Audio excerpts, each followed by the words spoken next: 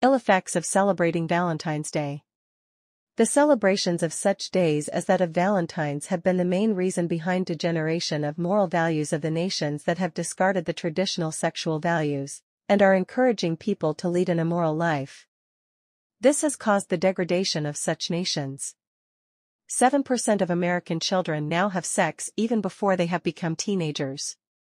85% of American males, and 77% of American females have had sex by the age of 19.